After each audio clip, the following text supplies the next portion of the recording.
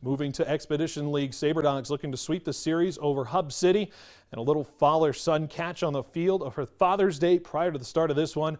And the Dogs went right to work in this one. Men in scoring position for Alex Hay. He's going to loft a fly ball to straightaway center field. Play is going to be made by Bo McClittick. Tags from third, slides in ahead of the play to make it at 1 nothing. Later in the frame, Jace Edwards would slap a ball the other way to right. Hunter Holland able to come home with ease. Souris Valley leading 3 1.